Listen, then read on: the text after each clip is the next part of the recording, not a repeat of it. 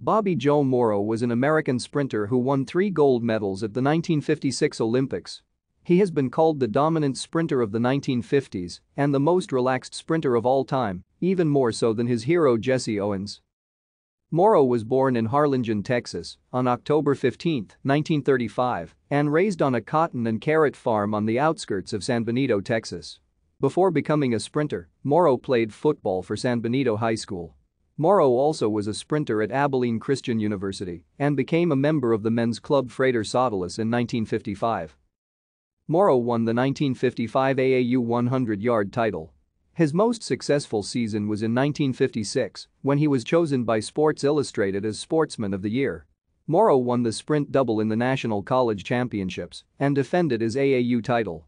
Morrow then went to the 1956 Summer Olympics in Melbourne, where he won three gold medals and was the leader of the American sprint team.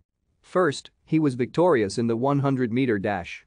He then led an American sweep of the medals in the 200-meter dash while equaling the world record at that distance with a time of 20.6 seconds.